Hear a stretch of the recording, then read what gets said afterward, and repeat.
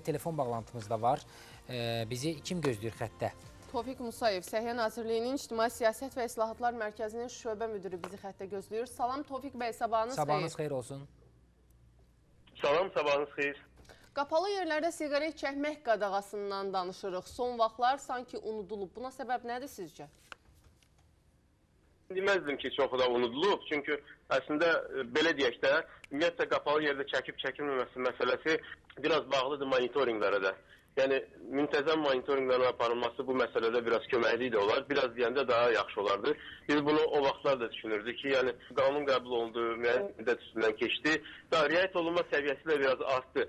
Amma müntəzəm, yəni qəfil belə deyək də yoxlamalar olsa müntəzəm şəkildə o daha yaxşı effekt verər. Yəni müəssisə sahibləri mi deyim, e, kafe restoranlar və s. yəni qadağan olan yerlər daha məsuliyyətli olur. Yəni onların rəhbərləri, e, işlədən şəxsləri daha məsuliyyətli olar və bilərlər ki, yəni qəfil müntəzəm Yəni yoxlamalar olur. unudulmur. Belə formada bunun keçirilməsinin üçün də o monitorinq nəzarət mexanizmləri işlənilməlidir o müntəzəm şəkildə qoyulmaq üçün.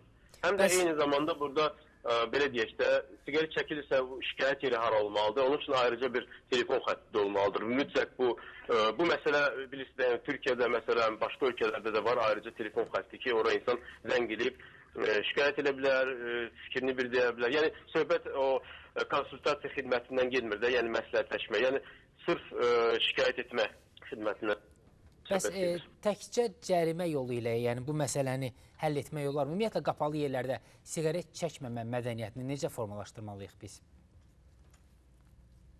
Cərimə ilə mümkündür. İmlə cərimə ilə də olmalıdır.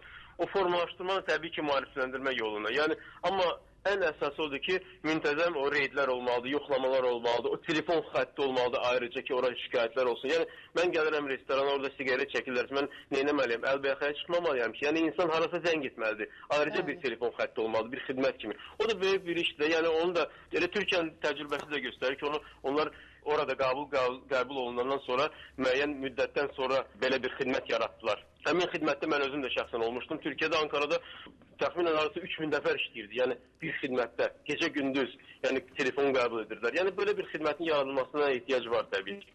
Əlbəttə. Bəs maarifləndirmə deyirik. Bu maarifləndirmə tədbirləri bu sahədə nə qədər effekt verir? Yəni siqaret atanların sayı artırmı?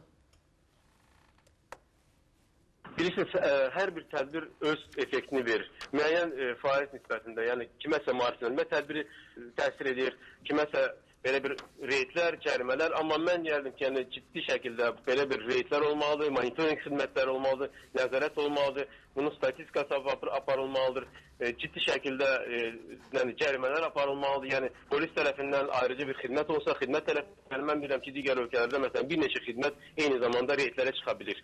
Yəni ola bilsin e, bələdiyyədir, polisdir, səhiyyə işçiləri də ola bilər. Yəni müxtəlif formatda bu keçilə bilər. Amma e, riayət olunmanın səviyyəsi daha da yüksəlmək üçün təbii ki, reytlər monitorinqlər aparılmalıdır.